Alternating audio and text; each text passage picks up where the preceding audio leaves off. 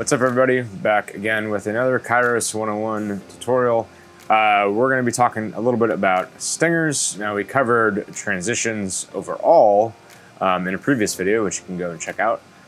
This is going to focus mostly on uh, how wipes work, um, specifically using external sources. Uh, so you have an MOV that you want to use as a stinger, as you would traditionally call it. Um, so let's get into it. Uh, for this, we're going to use, uh, we're in the transitions menu um, in Kairos Creator. We're going to utilize the user AB transitions in order to create this uh, kind of transition effect. Um, first of all, I'm going to create a new transition. And then I'm going to use this on the background layer. So I'm going to go over to user, which is up in the category section. AB, you can see, as we discussed before, designates a specific AB transition. So we have one AB layer here. That's our background layer that I'm going to be using uh, for this stinger effect. So what I have to do is I go to user, another right click here, uh, select add new.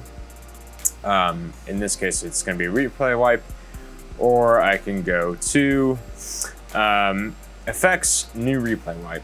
So I'm going to call this one uh, television.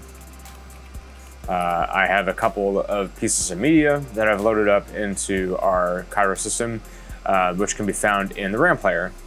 Um, I'm going to use the Packer Transplants uh, transition here, this television. Um, and then later on, I'm going to show you uh, this replay wipe that we have also that has uh, a, a, matte associated with it as well. So first of all, let's go ahead and load up this um, television. So it's this transplants one here. I'm gonna go back to uh, our transitions. So I have this television here, and then I'm gonna edit this effect. So this allows me to choose what source I'm gonna use for this replay wipe. Uh, in this case, it's not gonna be an AB mask. It's actually gonna be a fill um, selection. So I have two items loaded up in the RAM recorder. Um, that have been loaded to RAM. I'm going to select the Packer Transplants um, uh, media, and I know that it is a, a second and 16 frames long based on the length here, which is going to be important for us later on, and you'll see why. Go ahead and press OK. I uh, don't need to change any other settings here, just need to fill. I know the, the media already has a uh, alpha channel on it, so I don't necessarily need a key uh, to make this work. Um, so I'm going to go ahead and uh, add that to uh, our transition. But first, I actually have to add a mix effect. So kind of what we talked about before on the transition side of things, um, we can stack transitions uh, on the same layer for your scene. So I'm going to go ahead and drag and drop mix. And I'm going to drag on top of that uh, the television replay wipe. What allows us to, what, what this allows us to do is run the full television um, stinger through and then have a mix of layer A and layer B uh, on their background um, happen at the same time, which is really important because we need to have, we need to find actually the time in this effect where we see the television come full screen and then transition the background at the same time. So Nice thing is I can use my fader here. Uh, I'm gonna actually put something else into program, into preview, so we can actually see uh, what's going on here. So I'm gonna go back to my scenes. I'm gonna put, um, put window in program. Let me put camera one in preview. Cool. So now we have two disparate sources that I can actually see a transition occurring on. So selecting my transition here, I can use the fader to see, okay, there's the point at which everything is full screen and then I can set my fade in behind. But as you can see, the whole transition is occurring, the whole fade is happening at the same time. The great thing is I can actually adjust each of these layers uh, individually from one another. So I can actually adjust the delay time in which the mix starts, the mix effect starts occurring and how long that's gonna last for. But first, I actually do need to update the duration of the whole transition um, to 46 frames, and I got that from one second is around 30 frames, and 16 frames additional, so 46. So 46 uh, seconds, 46 frames long. Uh, and then I can actually use the handles here to adjust the time uh, where that mix uh, should occur. So I can scrub through here and you can see the playhead below actually moves along with it. So I can actually find the correct in and out point for the transition, the mix transition. So there's my in point, just around there. And then the out point, I'm gonna, I'm gonna make it actually as short as I want because it doesn't really matter. It just needs to essentially act like a cut. So that's been set there. I'm gonna go back on the fader. I'm gonna press auto. And there you go, seamless transition between the, uh, with the Stinger. Press auto again, just to test it out for funsies. Looks pretty good to me.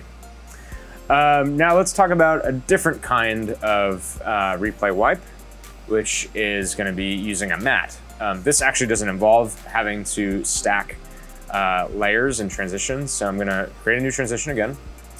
Um, I'm gonna go down to my AB background layer. I'm gonna go to user, right click, new, replay wipe. we call this uh, hexagon, press OK.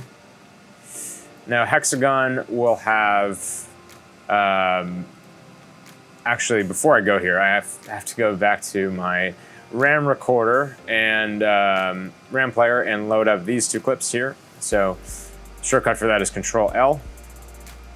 So control L will load the mask and the, the key. So we have the key fill here, and then we have uh, the wipe matte as well, so the AB matte.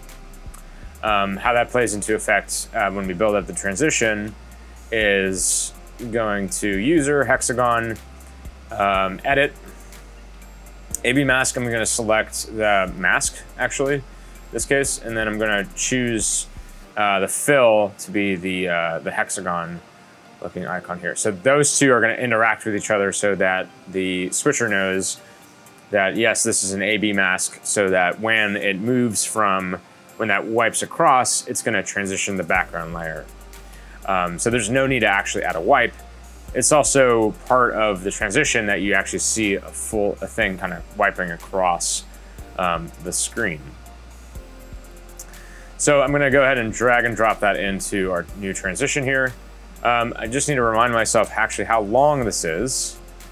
Um, just by hovering over, I can see it's four seconds long. So four seconds times 30, so 120 frames. So I'm gonna add a one to the front here. Not 210 frames, it's a little bit too long. Um, great, and before I actually run the auto on this transition, I'm gonna just wipe through it. As you can see, as the hexagon is floating through the frame, camera one, which is in preview, is going to uh, wipe underneath it, which is a pretty cool little effect we have going on here. So that's another wipe there. And if I run this in real time, there you can see the four second transition with the hexagon. I believe there's also a mode where you can do uh, reverse or normal reverse, where you take it once, it goes forward, and then on the second time you take it, it goes the other way. So it's a little trick about how to use uh, replay wipes and stingers in an effective manner using Kairos Creator and the KC100. So stick around for more Kairos 101 tutorials.